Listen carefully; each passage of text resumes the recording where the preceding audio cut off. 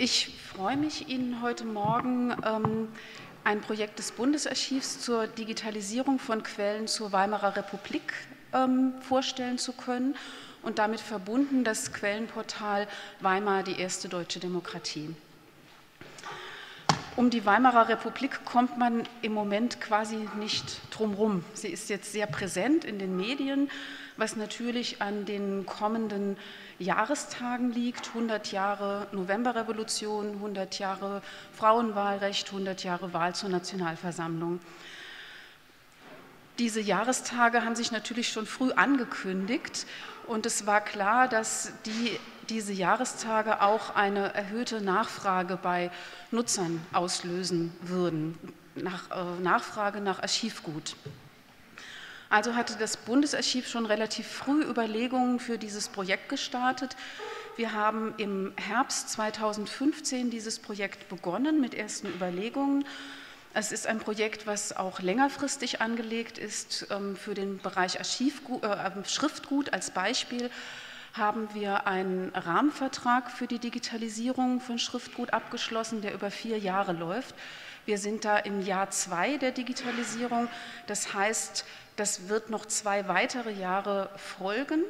Das heißt für dieses Portal auch, wir sind im März 2018 online gegangen in einer ersten Ausbaustufe und es wird also sukzessive mindestens über diese zwei Jahre hinweg noch weiter bestückt und ausgebaut. Unser Projekt umfasst alle Archivaliengattungen, also nicht nur Schriftgut, sondern vor allem auch Film, ähm, Töne, Karten, Fotos und Plakate. Wir haben, um ein bisschen was zum Volumen, zur Größe des Projektes zu sagen, allein im Bereich Schriftgut investieren wir circa eine Million Euro in diesen Zeitraum über vier Jahre. Wir rechnen damit, dass wir circa vier Millionen einzelne Images ähm, erzeugen können. Das heißt, wir werden circa 10.000 Akten digitalisieren können und rechnen damit, dass wir ungefähr vier Millionen einzelne Blätter, einzelne Digitalisate damit erhalten. Das ist natürlich ein ähm, Schätzwert, der von verschiedenen Parametern abhängt. Denkbar ist, dass die Zahl auch noch deutlich höher liegt, aber das ist eigentlich so die Mindestzahl, von der wir ausgehen. Zu den Rahmenbedingungen möchte ich gerne noch ergänzen, dass die Digitalisierung bei uns in einem gesamten strategischen ähm, Prozess steht oder eine, in, eingebettet ist in eine gesamtstrategische Überlegung. Digitalisierung, wenn wir hier im Rahmen dieser Konferenz davon sprechen, sprechen wir eigentlich immer davon im Zusammenhang mit Zugang erleichtern, Zugang zu Archivgut erleichtern. Aber für uns als Archiv steht natürlich im ersten Schritt auch die Sicherung des Archivgutes. Wir machen Digitalisierung im ersten Schritt, um damit Archivgut zu sichern. Bisher war das Medium der Sicherung ähm, der Mikrofilm oder auch der Mikrofisch. Und durch die Weiterentwicklung der Technik, neue Technologie, hat jetzt die Digitalisierung die Mikroverfilmung abgelöst. Das heißt, dass das bei uns eben auch in einem größeren strategischen Rahmen steht und nicht als singuläres Projekt zu verstehen ist. Wir haben schon vor einigen Jahren Quellen zum Ersten Weltkrieg digitalisiert und die Quellen zur Weimarer Republik schließen daran an. Es werden weitere Projekte folgen, beziehungsweise die Digitalisierung wird als stetiger Prozess zukünftig weiter vorangetrieben. Zum einen ähm, oder überwiegend ist das natürlich eine systematisch geplante Digitalisierung, so wie hier bei dem Weimar-Portal vor einem thematischen Hintergrund oder auch aus konservatorischen Gründen. Zunehmend möchten wir aber auch das Nutzerinteresse mit einbinden und eine Digitalisierung on Demand ermöglichen, also eine nutzergesteuerte Digitalisierung. Als wir das Projekt zur Weimarer Republik gestartet haben, hatten wir damals auch auf verschiedenen Plattformen, unter anderem bei Hasuts Kult, einen Aufruf gestartet, ähm, uns durchaus Themen zu nennen, wissenschaftliche Forschungsthemen zu nennen, die relevant werden, damit wir eventuelle Quellen, die wir dazu haben, auch bei unserem Digitalisierungsvorhaben berücksichtigen können. Das ist jetzt nicht im großen Maße angenommen worden, aber es gab Feedback dazu. Das ist ja schon mal sehr positiv. Wir konnten also eine einzige, äh, ein, einige Dinge damit auch stärker in den Fokus nehmen, die wir vielleicht vorher nicht so im Fokus hatten. Und es ist eigentlich etwas, was wir uns auch im stärkeren Austausch mit den Nutzern weiter zukünftig auch wünschen und weiter ausbauen möchten. Denn natürlich ist klar, bei unseren Überlegungen wollen wir natürlich auch nicht an dem Interesse der Nutzer vorbeiarbeiten. Bei diesem Volumen, was ich vorhin geschildert habe, muss natürlich trotz allem klar sein, die Mehrzahl unseres Archivgutes liegt weiterhin analog vor. Also Herr Heumann hatte gestern schon die Zahl genannt, äh, wie viele Akten wir haben im Moment. Das beläuft sich auf eine Zahl von circa 400 Kilometern. Da ist natürlich klar, dass selbst mit den Bestrebungen, die ich jetzt geschildert habe, auch bei dem großen Volumen, was wir für die Digitalisierung einsetzen, letztendlich nur ein kleiner Teil in digitaler Form ähm, präsentiert werden kann. Ein Teil, der wachsen wird, aber natürlich ist es im Moment ein kleiner Teil. Wir verstehen es dann so, dass wir durchaus jetzt schon sehen, dass mit diesem digitalisierten Archivgut schon ähm, Fragestellungen ähm, ausschließlich behandelt werden können. Aber es ist natürlich auch ein bisschen so ein Fenster in die analoge Welt und soll ein bisschen funktionieren nach dem Motto, wenn wir hier schon so viel Interessantes sehen können, ähm, dann wird da sicher auch noch mehr in analoger Form sein. Warum machen wir das? Da habe ich jetzt schon einiges dazu gesagt. Natürlich ist ähm, ein ganz wichtiger Punkt, dass wir die Originale sichern und schonen wollen. Ähm, wenn wir zu, einem, ähm, zu einer Archivale ein hochwertiges Masterdigitalisat haben, wird das Original nicht mehr in die Nutzung gehen. Das heißt, die Nutzung erfolgt dann wirklich über, die, über das Sicherungsmedium. Ein großes Ziel ist natürlich, was wir mit so einem Projekt verknüpfen, die verstärkte Wahrnehmung. Wir wollen verstärkt sichtbar bleiben und mehr sichtbar werden. Gestern ähm, wurde hier wieder dieses, dieser geflügelte Satz zitiert, der ja wirklich seine Berechtigung hat, was nicht im Netz ist, ist nicht in der Welt. Wir wollen aber mit unserem Archivgut in der Welt sein. Und weil wir der Meinung sind, man kann damit noch viele Fragen beantworten und man kann noch viele Fragen daran richten. Deswegen wollen wir möglichst präsent bleiben. Und natürlich vielleicht mit einem solchen Angebot, wie dieses Portal jetzt auch ist, neben der ähm, wissenschaftlichen Forschung, die wir als eine Hauptadressatengruppe haben, auch neue Nutzergruppen erschließen, jüngere Nutzergruppen vielleicht auch, für die ein Weg in ein Archiv erstmal fremd ist. Ein weiterer Aspekt ist, dass wir uns ähm, mit einem solchen Angebot, mit einer solchen Sichtbarwerdung auch eine stärkere Vernetzung mit anderen wissenschaftlichen Projekten wünschen, mit anderen Partnern. Das funktioniert auch schon ziemlich gut. Wir haben eine enge Kooperation mit dem Verein Weimarer Republik e.V.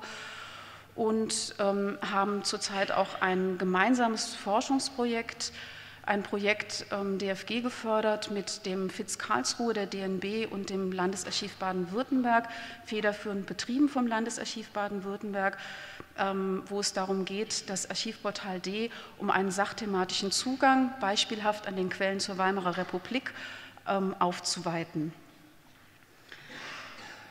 Wenn man von Digitalisierung spricht, muss eigentlich auch klar sein, dass man von Auswahl spricht. Ich habe diese große Menge an Archivgut genannt.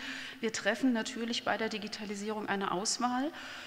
Wie die Kriterien da sind, hängt auch ein bisschen von dem jeweiligen Archivguttyp ab, von der Archivaliengattung. Bei den Tönen beispielsweise ist es nicht besonders schwer. Wir haben gar nicht viel Tonmaterial. Da haben wir schlicht das digitalisiert, was da ist. Das mussten wir auch, weil es uns sonst im Grunde wegbröselt.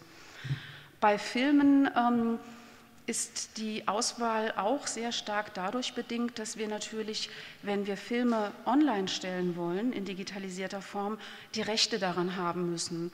Die Prüfung bei den, bei den Filmwerken ist oft sehr komplex und ähm, daran kann es liegen, dass Filme dann zum Teil nicht in die erste Digitalisierungsauswahl kommen, beziehungsweise nicht online gestellt werden können. Beim Schriftgut erfolgt sicher der, der, die größte Auswahl, weil wir da die große Masse an Archivgut haben.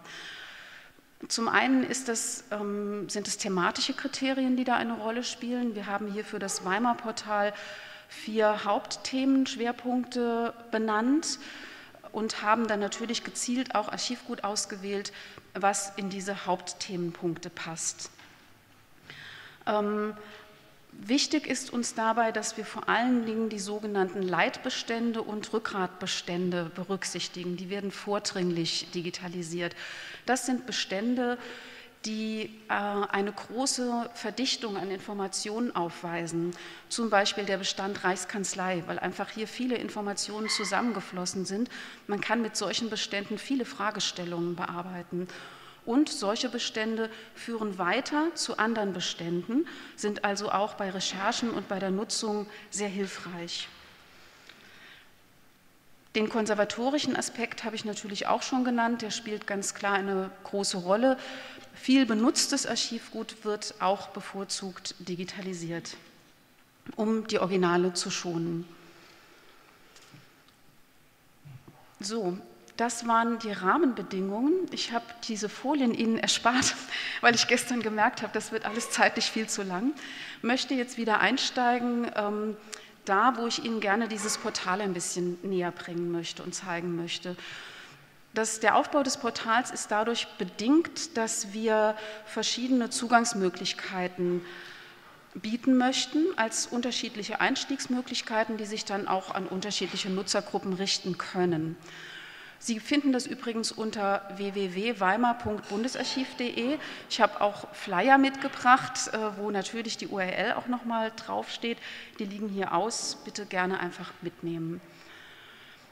Ein ereignisbezogener Zugang bietet der Zahlenstrahl, der ganz oben am Portal angesiedelt ist und sich an Tagesdaten orientiert, ereignisbezogen, wo dann tatsächlich einzelne Archivalien hervorgehoben, hinterlegt sind und aber auch wieder Links zu anderen Recherchesystemen zu finden sind. Dann gibt es als strukturierten Zugang den Zugang über die verschiedenen Archivaliengattungen, bei dem man direkt in den jeweiligen Recherchesystemen, äh, zu denen man die, direkt zu den jeweiligen Recherchesystemen geführt wird, wo dann auch die Digitalisate dahinter liegen. Das ist sicher ein Zugang, der sich an Nutzergruppen wendet, die vielleicht schon ein bisschen Erfahrung mit Archiv haben und schon eine gezieltere Suche ähm, vornehmen möchten. Das heißt aber auch, ähm, ich habe jetzt gesagt, die Digitalisate liegen in, in, anderen Datenbanken. Das heißt, dass dieses Portal, was Sie hier sehen, eigentlich eine Art Dach ist. Es ist quasi oben drüber gesetzt über unsere ohnehin schon bestehenden Datenbanken, die wir auch weiter ausbauen und weiter pflegen, unabhängig von diesem Weimar-Projekt. Und ähm, das Weimar-Portal bietet nur einen gebündelten thematischen Zugang als Dach über die bereits bestehenden Portale. Das ist für die Akten das ähm, Recherchesystem Invenio, das aufbaut auf unserer Hauptarchivdatenbank Basis. Hier finden Sie die Metadaten zu dem Schriftgut, auch zu Karten und perspektivisch zu Tönen. Direkt bei den Metadaten zu dem einzelnen Aktenband ist der Link zum jeweiligen Digitalisat hinterlegt. Hier öffnet sich ein Viewer und Sie können den gesamten Aktenband sehen. Auch eine Prämisse, die ich vorhin, glaube ich, nicht erwähnt habe. Wir digitalisieren nicht einzelne Dokumente, sondern immer nur den gesamten Aktenband, um den Kontext zu wahren. Und wenn es möglich ist, nicht nur den gesamten Aktenband, sondern auch, ähm, wenn es sich sinnvollerweise anbietet, durchaus ganze Klassifikationsgruppen oder auch Teilbestände und Bestände, weil wir eben perspektivisch ähm, ja, eine Art Cluster ermöglichen wollen, sodass es auch für Forschung interessant ist, dass sie nicht auf die ähm, singuläre Auswahl des Archivars angewiesen ist, sondern wirklich selbst in der Akte recherchieren kann. Invenio ist ein System, was sich auch im fortwährenden Ausbau befindet. Ähm, in einer nächsten Ausbaustufe wird es beispielsweise möglich sein, gezielt nach Digitalisaten zu recherchieren. Für Bilder und Plakate ist die Recherchedatenbank die Bilddatenbank, die sicher einige von Ihnen auch kennen.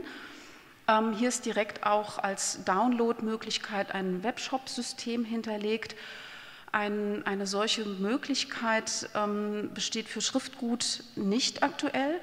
Perspektivisch ist durchaus denkbar, so etwas auch in, in Venio zu integrieren, aber ich habe schon gesagt, es ist ein System, was sich in der fortwährenden Weiterentwicklung befindet und das wird sicher noch einige Schritte bedürfen. Das dritte wichtige Recherchesystem ist die Filmothek für die Filme des Bundesarchivs, betrieben von der Firma Transit.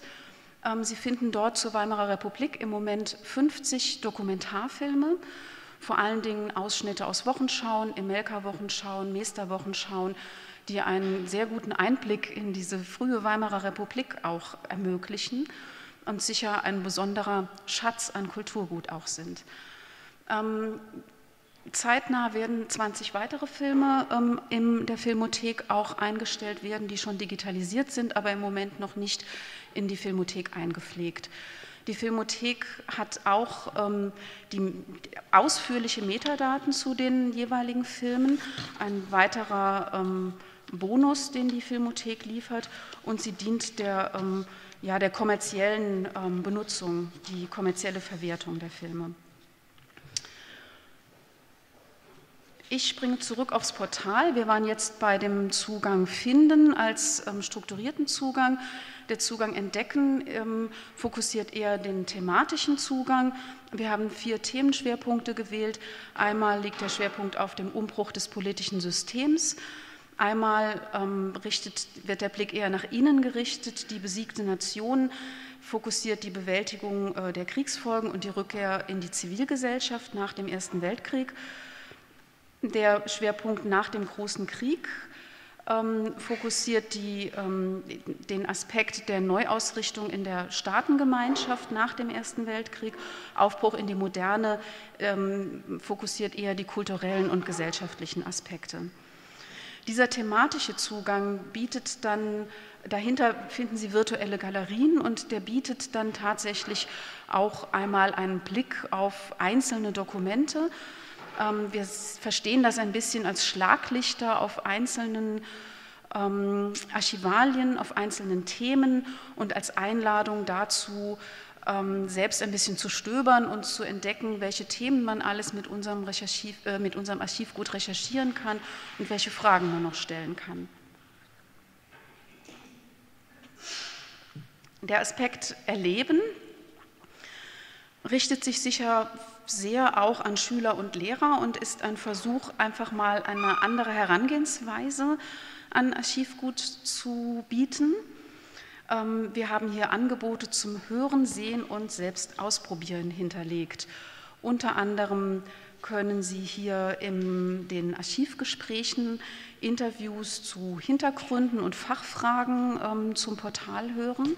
Wir haben da im Moment drei Interviews hinterlegt. Das wird auf jeden Fall noch weiter ausgebaut werden.